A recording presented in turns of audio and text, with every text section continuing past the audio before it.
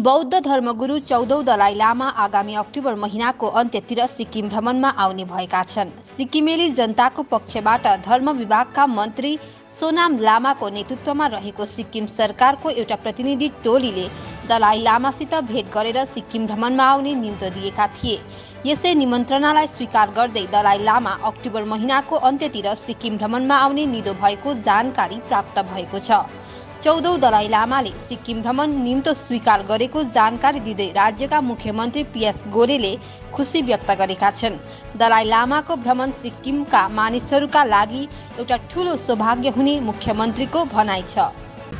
सिएफएस fitness studio दार्जिलिङको एकमात्र premium fitness studio सिएफएस जुन फिटनेस स्टुडियो शारीरिक व्यायाम विज्ञान पौष्टिक आहार न्युट्रिसन साथै सप्लिमेन्टेसनको लागि विशेष रूपले प्रचलित छ।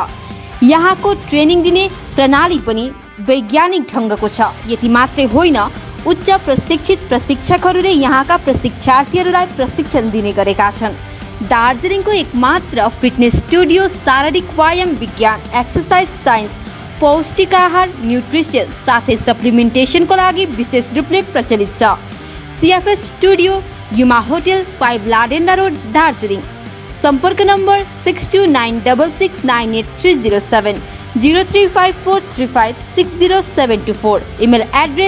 info at the rate Facebook Facebook studio. Instagram cfs_studio Website www.cfsstudio.in